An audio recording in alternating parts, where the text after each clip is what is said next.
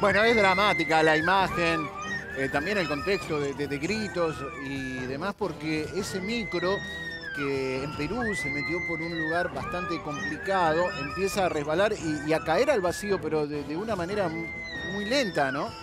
Eh, fíjate, da toda la sensación de que se metió mal o, de repente un desmoronamiento que cambió las condiciones del camino, porque evidentemente no, no, no pasaba, o por lo menos algunas de las ruedas iban a quedar no bien apoyadas. Bueno, finalmente hubo heridos.